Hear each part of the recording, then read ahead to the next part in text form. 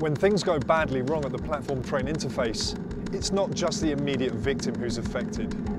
It's often a life-changing experience for their family, their friends and for the railway staff involved.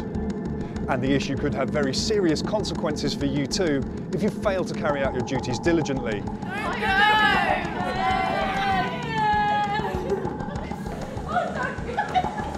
If staff involved in the dispatch of a train have a reasonable belief that somebody is going to be injured by that train departing the platform, they must not allow the train to depart until they have done all that is practicable to ensure the safety of that person.